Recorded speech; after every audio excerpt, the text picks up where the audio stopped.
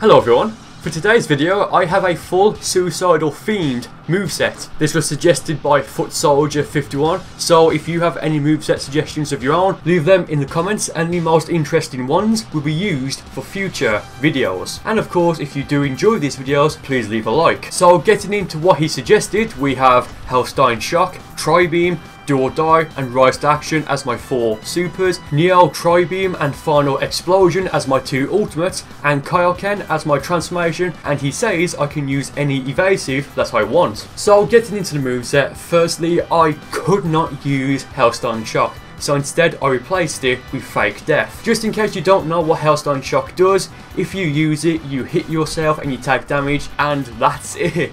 Captain Ginyu did use it in the anime before he switched bodies with Goku, which makes sense, but in the game it's it's quite useless to be honest. I think I've used it just twice. Firstly was for a video on the old channel. Firstly was when I was in a team battle and I kept using it to deliberately get knocked out so I could revive myself and to get a massive Zenkai boost. But to be honest, I did it more so for a gimmick than anything else. And secondly, I think this was the only other time I used it. It was also for a video where the guy went AFK and he kept using capsules in the previous fight. So I used Captain Ginyu, dashed up to him, kept using Shock. Then I switched bodies with him and one hit KO'd him. And that's the only other time I've used it. And I don't think I'm ever going to use it again because it's the worst attack in the game. So like I said, I replaced Hellstein Shock with Fake Death because it fits with the theme of the moveset. Plus you can kind of combo into Fake Death, so it is kind of useful in that regard. We've also got a secondary theme here of Kaioken, which is pretty nice. So of course, for my transformation, Kaioken. I'm guessing Foot Soldier 51 said to use Kaioken because it's a life-risking form, which I love. And we've got Rise to Action, which I'm guessing is because of Kaioken, so I can kind of maintain it now for a long time if I need it. So this is off topic to what the video is. If I were to run a Kaioken moveset competitively, I would probably go for Rise to Action, Maximum Charge, Twin Darkness Star, and maybe Hyper Drain. So that way I can use Darkness Twin Stars as a bit of a shield, then use Maximum Charge, and then just keep using Rise to Action so I recover my stamina, and Hyper Drain so I can use it in the middle of a combo to recover both my ki and stamina. Plus it drains theirs, so it's kind of a win-win for me. I mean, I may do this for a future video, who knows. So getting back to this moveset, Tri-Beam as my super and Neo Tri-Beam as my ultimate because I'm guessing he picked these because when they're used in the anime, Tien basically kills himself. I love the Tri-Beam attacks in general. I just think they're very badass looking. I just think it's a bit of a shame that you rarely see them used online because they're, quite frankly, in Xenoverse 2, they're not the best. Do or Die because I'm guessing it's just got die in the title, I don't know. Final Explosion as my second ultimate should speak for itself and hyper movement because he said I can pick any evasive I want and I just think hyper movement is a very good evasive in general. Just one final note before we get into the fights. If you use Kyle Kaioken times 20 and then use either Final Explosion or Neo Tri-Beam, you can make them last for a very long time. So as we go into the first fight, my opponent picks Super Saiyan 4 Goku and something I've noticed lately is that there's been quite a few players lately picking Super Saiyan 4 Goku. Something I noticed immediately is that this guy vanishes after every few hits and in a moment he's actually going to drain all of his stamina and that's going to put me at a huge advantage and we're not even 20 seconds in to the fight. So here I charge up the Tri-Beam and if you're on the ground you actually only use one hand which I'm guessing is a reference to when Tien used it against Nappa and killed himself. But either way, it looks very badass. So here I sent him flying down hit him with a quick charge energy volley. And now I know he's going to vanish because if you have low stamina and you get just enough stamina recharged when you're in a combo so you can vanish, they're more than likely going to use it. If you just noticed, he stood still after he vanished, which I'm assuming it's because he went to use Dragon Fist, but didn't know which button it was, I don't know. But he goes for Dragon Fist again there and actually activates it and I'm just blocking it. And now I went for the Kaioken times 20 because I'm thinking I think I know how this guy plays and I think I can maintain it throughout the fight. So there I broke his guard, then I went for the final explosion and it actually activates but if you look his stamina hasn't recharged but he blocked it so that must be just a simple visual glitch. And now I charge up Tri-Beam trying to get something off like what Tien used on second form Cell and he kind of fails and now he's going to use Dragon Fist on me and I can't use my evasive to get out of it so I just have to endure the fisting. I never enjoy being dragon fisted, but it is what it is. Now, of course, my Kaioken has run out, so I don't think at this point of the match it'll be very wise for me to use it again. I went for the do or die as soon as I vanished there. Even if he didn't hit me, which he didn't, I still get a temporary buff where I take less damage. So that's going to help me, especially at this point in the match. I went for the homing dash when he used Super Kamehameha to break his guard. Then I hit him down. Then I finish him off with the ultimate Neo Tri-Beam. And you have to admit, I do finish this first fight off in style. So that was a very fun first fight. I do like it when people pick Super Saiyan 4 and hopefully either as an update or in a future game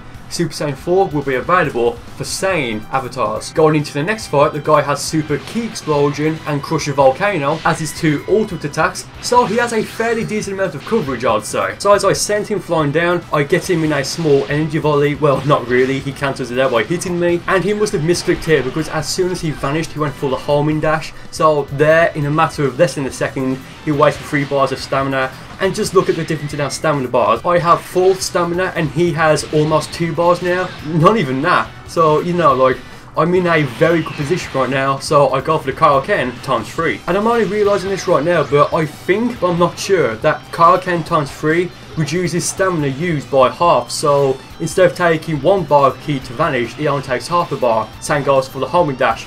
But as you just saw right there, he went to transform and I broke his guard.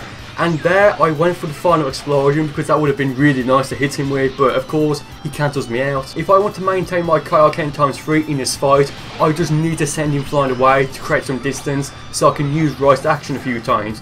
But thankfully I do manage to hit him away, and for some reason when I do hit him away, I only go for one Rise Action rather than two or three. I don't know why I used RTA there just once when I clearly had enough time to use it two or even three times. I mean, but who knows. So he went for the Crusher Volcano there.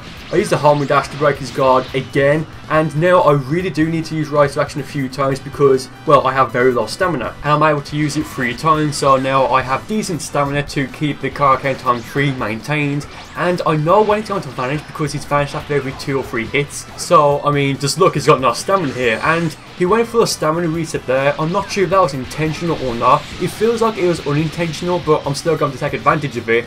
So I sent him flying down here. The ideal attack to using in this situation would have been Final Explosion, but I just didn't have enough ki to activate it. And that probably would have done enough damage if I did use it to finish him off. So now I'm just letting him hit me because if I do vanish there, I'm probably going to do more bad than good because I'd have even lower stamina. In the moment, I get him in a very cheeky throw, which just feels like I grabbed his foot then just threw him, which I just thought that was very funny. But I really did need to go for the throw there so I could use RTA twice to get a lot of stamina back. He's going to do this thing again in a moment where he's going to vanish, then immediately go for the homing dash, which will just waste 3 bars of stamina in total. So I don't know if that was intentional, I don't think it was, but I break his guard, then send him down to the ground, and I try to hit him there with the one-handed Tri-Beam, but he just manages to get out of the way of it just in time. So as I go in for the final combo to beat him, I can really start to feel the salt building up in him, because in a moment, he's going to disconnect. He rage quit in a player match.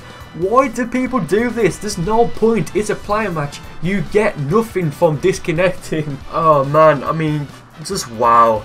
Anyway, moving on to the third fight, my opponent this time has Perfect Kamehameha and Spirit Ball as his two ultimates, so he has okay coverage, but I personally would replace Perfect Kamehameha with Super Kamehameha just so that way it's it's just more reliable in my opinion. The only benefit Perfect Kamehameha has is that you can't block it, but that comes at the cost of it taking 4 bars of ki instead of 3 and having a longer startup time. You'll see in a moment why having an ultimate attack that has a fairly long startup time is a bad thing to do because well, right here he goes for I go for the homing dash and break his guard. And now I have more than enough time to use Final Explosion. He could have hit me there to cancel the tail, but I don't think he knew about it. And the damage it's going to do to this guy is going to be insane. You can see right here, he has basically no health now. But at least now he has max ki and max stamina, so I guess that's something that's going for him. So now as my stamina is recharging, I go for a Tri-Beam, expecting him to rush into me, but he doesn't, so fair play to him there. And I go for another one, and he does dash into me, but I'm just not fast enough to activate it. And then he goes for the Gadget gun, and I'm just dashing out the way. I simply dash into him, expecting him to vanish, and I do prepare the back hit, as you just saw right there. And it does hit him as he dashes behind me, so that's just extremely unfortunate for that guy, but I mean, it was all over when I used Final Explosion to be honest. So thank you guys for watching so far. There's a few fights left. The final fight I would consider a blooper to an extent because I was expecting the guy to use body change and he didn't sadly so there's that. So thank you guys for watching so far and I hope you enjoyed the rest of the video.